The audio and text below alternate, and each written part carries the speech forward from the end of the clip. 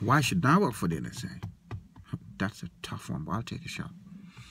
Say I'm working for the NSA. Somebody puts a code on my desk, something nobody else can break. So maybe I take a shot at it. Maybe I break it.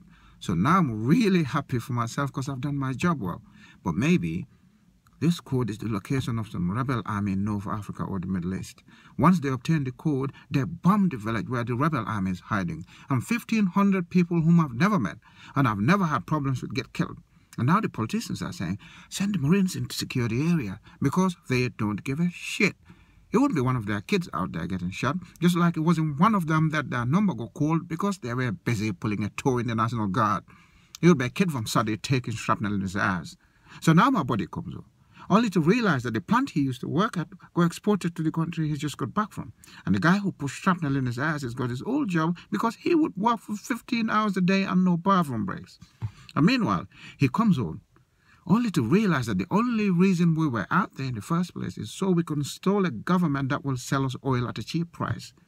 And of course, the oil companies use the skirmishes over there to scare up domestic oil prices, a cute little ancillary benefit to them, but ain't no good to my body at 250 gallons. And meanwhile, they're taking their sweet time bringing the oil back, and maybe even took the liberty of hiring an alcoholic skipper who likes to drink martinis and play along with icebergs. And ain't too long before he hits one, spills the oil and kills all the marine life in the North Atlantic. So now my body's out of work. He can't afford to drive. He's walking to job interviews with socks because the shrapnel in his eyes is causing him chronic hemorrhoids. And meanwhile, he's starving.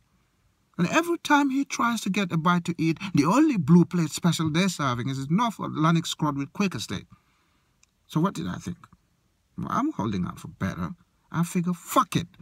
While I'm at it, why don't I just shoot my best buddy, take his job and offer it to his sworn enemy, club a baby seal, hiss a hosepipe, blow an oil pipe, join the National Guard, and I could be elected president.